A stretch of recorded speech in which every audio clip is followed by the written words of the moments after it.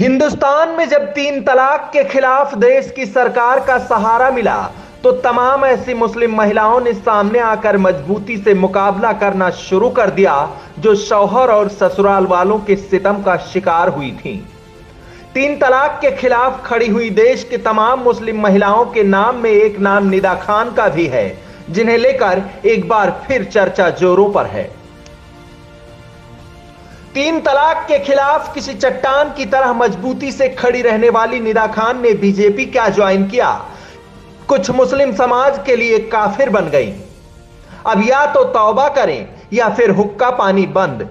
जिस बीजेपी में केंद्र से लेकर राज्य तक कई मुस्लिम चेहरे मंत्री और पदाधिकारी हैं, उस पार्टी में शामिल होने वाली निदा खान आज कुछ मुस्लिम समाज के लिए काफिर बन गई हैं।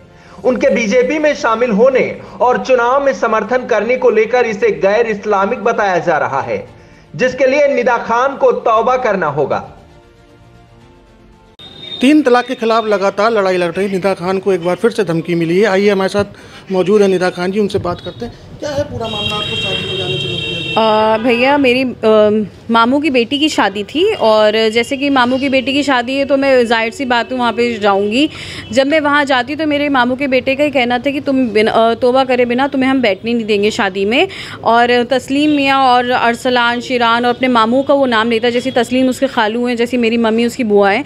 उनका साफ़ साफ़ कहना था कि निदा ने जो भाजपा ज्वाइन करी है ये एक गलत काम है और उसने समर्थन भी करा है और प्रचार भी करा ये गैर मुसलमानी काम है। इसके ऊपर इसे तोबा करनी पड़ेगी, उसके बाद ही इसे हम शादी में शामिल होने देंगे।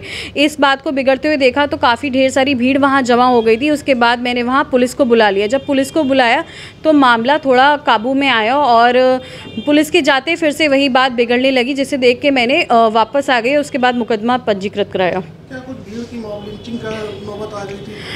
वहाँ पे भीड़ इतनी हो चुकी थी आ, कि मुझे पता भी नहीं चलता कि कौन इतनी भीड़ में कुछ भी कर सकता था।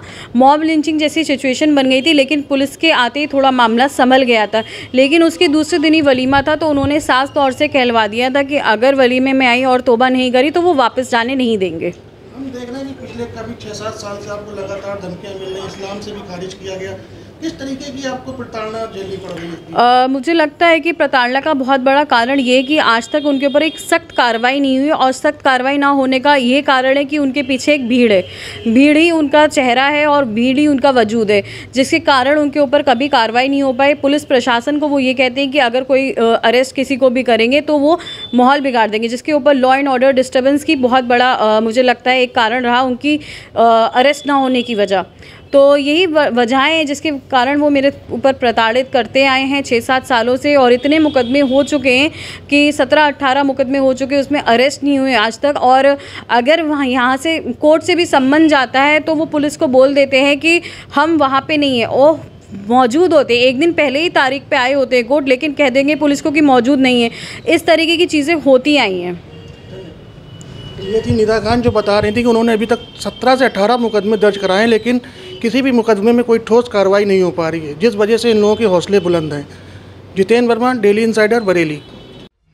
दरगाह आला हज़रत की बहू निदा खान ने अपने पति और कई ससुराल वालों के खिलाफ एक रिपोर्ट दर्ज करवाई है। इसमें निदा खान ने ससुराल वालों पर भाजपा में शामिल होने पर तौबा न करने पर उनके मामा की बेटी की शादी में शामिल न होने देने और अपने मुरीदों से उन्हें मरवा देने की धमकी देने का आरोप लगाया है। डेली इंसाइडर से बात करते हुए निदा खान ने बताया कि मामा की बेटी की शादी में शामिल होने पहुँची निदा को तौबा किए बिना शादी में शामिल होने से मना कर दिया गया। निदा खान ने तौबा करने से मना किया तो बवाल बढ़ गया। पुलिस आई, मामला शांत हुआ, लेकिन पुलिस के जाते ही एक बार फिर माहौल गर्म हो गया, जिसके बाद दोबारा पुलिस को आना पड़ा। इसके बाद आरोपियों के खिलाफ एफआईआर दर्ज की गई। यूपी और देश दुनिया की तमाम ताज़ा तरीन खबरों के लिए गूगल प्ले स्टोर से आज ही डाउनलोड करें हमारा तेज़ी से उभरता न्यूज़ ऐप डेली इंसाइडर